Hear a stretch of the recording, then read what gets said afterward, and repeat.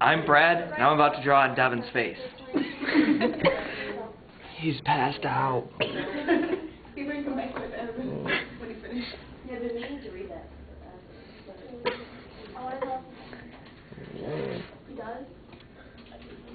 Yeah, he doesn't really know. I don't remember. Fuck. Look at it.